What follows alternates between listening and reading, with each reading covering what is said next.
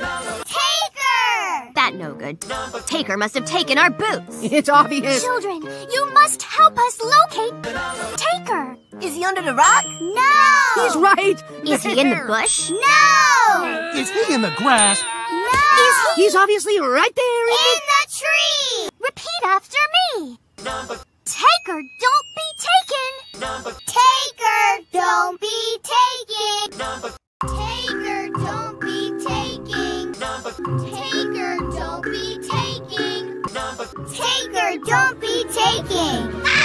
It's working. Taker is experiencing shame. Can you say shame? Shame! Very good. Scram, you creepy taker.